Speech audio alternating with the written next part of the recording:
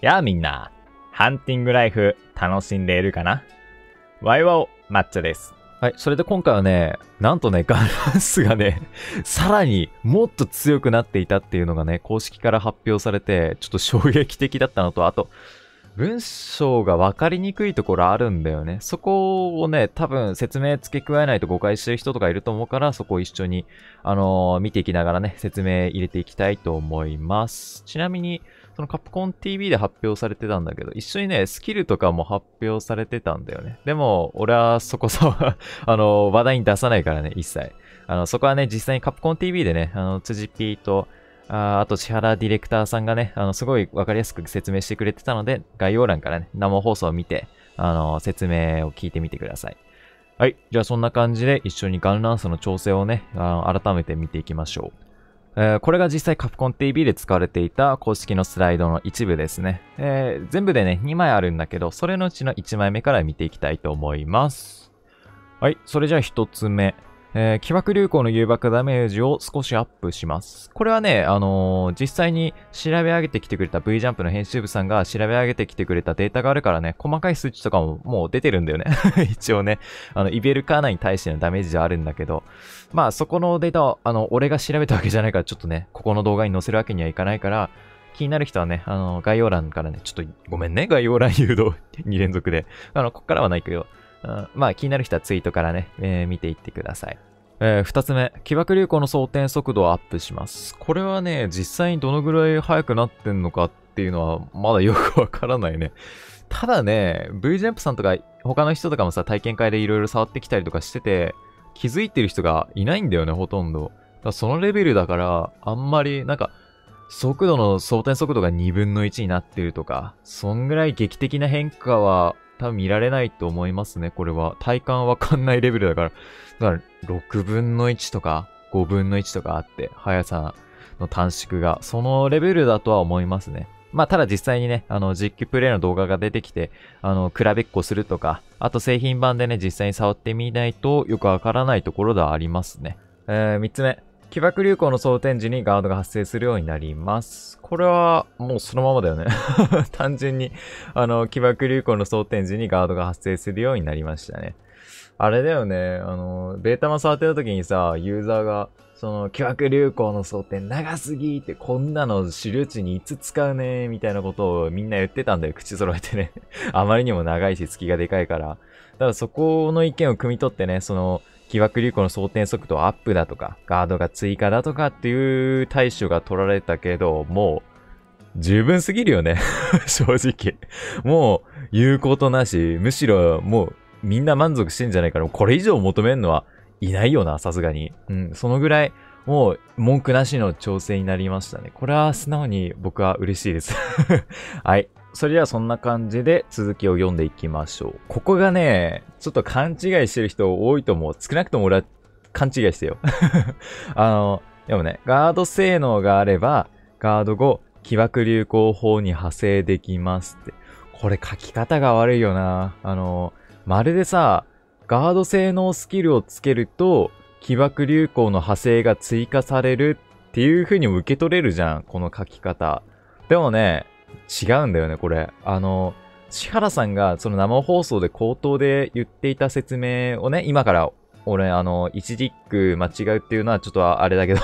そのままね、ちょっととりあえず読み上げるね。えー、ガード性能スキルとかを積んでもらったら、モンスターをガードして、そのまま起爆流行装填を続行できるっていう風に言って説明したんだよね。だからこれって、つまりさ、言い換えると、起爆流行装填でのガードは、ガード性能などで強化できます。また、のけぞりなくガードできた場合は、派生につなげることができます。っていう風に解釈できるんだよね。あの、俺も最初はね、あの、この文章だけ読んだ時に、え？ガード性能をつけると、ガード後に起爆流行法の派生が追加されるの？みたいな。なんか、スキルで派生がコントロールされてんの？なんかすげえみたいな感じ思ったんだけど、実際はね、その口頭の説明聞いたらね、あー、これ書き方が悪いんだなっていう風に解釈しましたね。ただ、もちろんね、あの、僕個人の、ただ単に、あの、聞いてるユーザーの一人でしかないんで、俺は。あの、ある程度 YouTube のチャンネル規模とかあるけど、あくまでも俺ユーザーの一人なんで、あの、勘違いとかもあるから、今の俺の説明が、あの、違うだろって思う人は、良ければね、コメントで、あの、言ってほしい。俺もね、間違った情報の共有とかしたくないからできれば、なんか、違和感を感じた人はコメントに書いてください。本当になんかガード性能があれば、ガード後に起爆流行法の派生が追加できるみたいに思う人とかね。なんかそういう人はコメントで良ければ意見をどしどしよろしくお願いします。はい。じゃあそんな感じで。あ、それとね、派生はこれだけじゃないんですよ。起爆流行法だけじゃなくて、他にも選択肢がね、あるっていうのが、うん、その詳細がね、スライドの2枚目に書かれてあるので、そちらを今から見ていきましょう。はい、こちらが起爆流行争点から派生できる連携の一覧ですね。えー、起爆流行争点からあ右に移って起爆流行法、水平月1、踏み込み突き上げ、砲撃っていう4種類に派生できるっていうのがここで書かれてありますね。いやー、なんかもう強化されすぎだよね 正直なところ。もう速度アップするわ、GP 追加されるわ、その派生まで追加されるわでさ、もうベータ版全然違うよ、もう本当に。どんだけ化けるんだよって感じなんだけど。あのー、まあ、実戦でね、この考えられる派生の使い方っていうのが、あのー、単発砲撃相手に食らわせてるじゃん？その最中に相手の攻撃が来るなっていうタイミングで、あの、起爆流行装填にね、派生して、GP を使ってね、相手の攻撃を相殺した後に、相手の好きによっては、起爆流行砲をズシュって刺してつけてやったりだとか、あとは隙がない場合は、水平月1だとかね、その他諸々に派生できますよっていうことだから、もう本当に隙がなくなったよね、だいぶ まあもちろん起爆流行争点にスリンガーが必要だから、あのー、ね、ずっと毎回 GP 使えるかって言われたらそんなことはないんだけど。でも本当に嬉しいね、これは。もう立ち回りのさ、幅がすごい広がってるし、もう説明しただけど俺、もうノジル止まんないもん、も うイメージ、イメージでさ、もうノジルが止まんないもん、この GP 挟んでなんか、砲撃とか起爆力砲とかに派生するとか、なんか、そんなイメージしたらもう、す、すごいや、もう、カプコン、半端ないって、カプコン。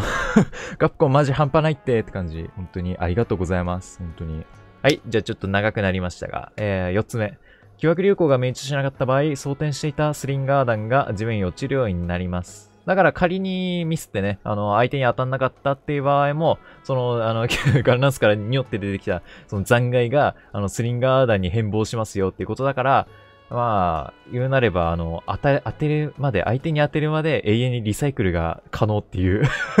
ちょっと永遠に無限ループできるっていうね、そこも面白いよね。なんか、クエスト終了後にさ、みんな起爆流行を透かして拾って装填して、で、なんかまた撃って装填してとかなんか繰り返してるそういう茶番がね、見れるかもしれないですね。えー、5番目、これも新情報で結構嬉しいかな。投げ払いでプレイヤーが転倒しなくなります。だから、今まではさ、ランスでひるみ軽減必要だったとかっていう状況だったんで、他の武器は基本的に体験とかかな。あの、あハンターを転ばせるモーションは。ガンランスの投げ払いと体験ぐらいか。あとなんかあるかな 俺ちょっと忘れちゃったんだけど、出てこないんだけどさ。まあ、その投げ払いが、あの、プレイヤーを転ばせなくなりますよって、ひるみはするんだけど、転ばないように改善されましたよってことだから、マルチでもね、気軽に投げ払いで斬撃特化で運用できるようになったから嬉しいね。起爆流行がかなり強力だから斬撃特化がね、追い込む、あ追い風気味ではあるんだけど、ま向かい風気味か。向かい風気味ではあるんだけど、いや、いいね。結構投げ払いでプレイヤーが転倒しなくなるっていうのは嬉しいかな。周りに迷惑がかからないし、ランスの人ももう嬉しいんじゃないか。ガンランスが強化されたことでランスが嬉しがるってちょっとなんか変な感じのワードなんだけど。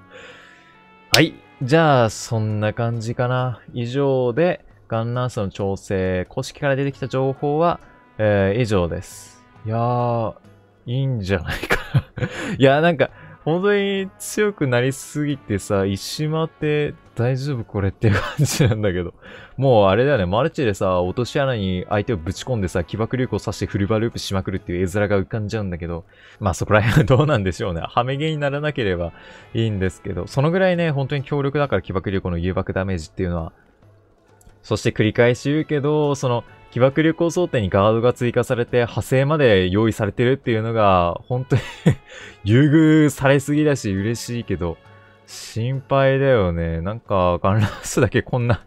なんか嬉しい思いして、ちょっと甘い蜜ばっか吸ってて申し訳ないですって感じなんだけど。いや、本当にアイスボーンで一番優遇されてるのガンランスだともこの調整見る限り。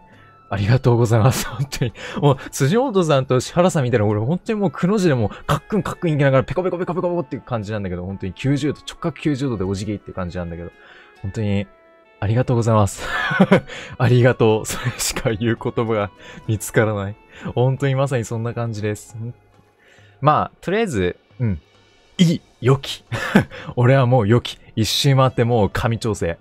じゃあそんな感じで以上で、えー、この動画を締めくくりたいと思います。えっと、それじゃあね、なんかこれの挑戦に関するね、感想とか良ければ意見聞きたいの、本当に。それのためにもうこの動画作ってると言っても過言ではないんで、良ければ意見をね、あの、コメントに良ければ書いてください。はい。では、そんな感じで、